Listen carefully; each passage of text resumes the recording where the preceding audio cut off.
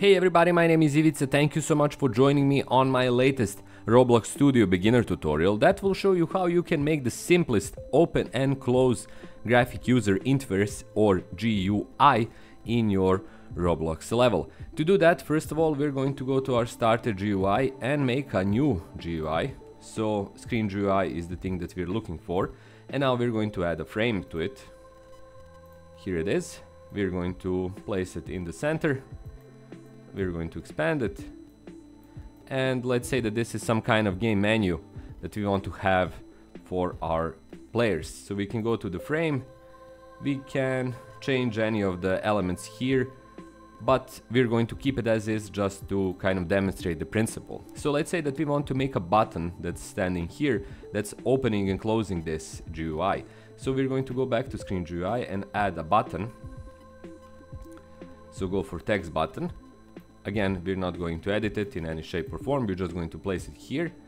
And now we need actually a script, but a really simple script that is going to close on click this menu and then on click again open it up. So back at the screen GUI, we're going to add a local script. Here it is.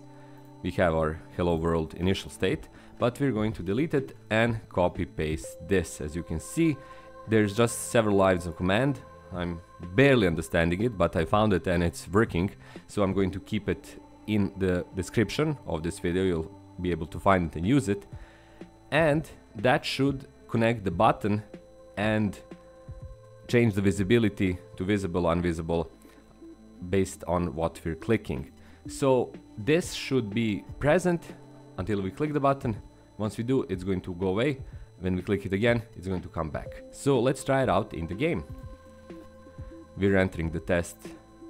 And here it is here's the menu. On click it's disappearing. You can normally play do whatever you like. And then again on click it's back.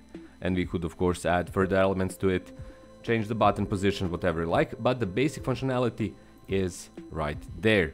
And that's pretty impressive. Again through a pretty basic pretty easy to use script that is connecting the button with the local script, uh, the connecting the local script with the button and the frame, connecting these two through this functionality. So there you have it, pretty simple, pretty easy, very straightforward. Again, the same code, the same script is in the description below, you can find it there, but there you can also find my links.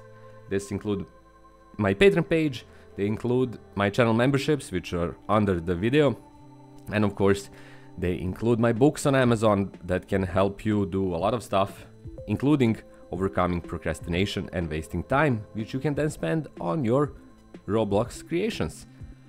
Please check out all of those if you want to support me, but of course the easiest, cheapest, fastest way to do that is just to subscribe to my channel and be here for my new clips. That's all for me, my name is Ivica, thanks for watching, have loads of fun in your Roblox adventures and I'll see you on my next tutorial. Until then, bye bye.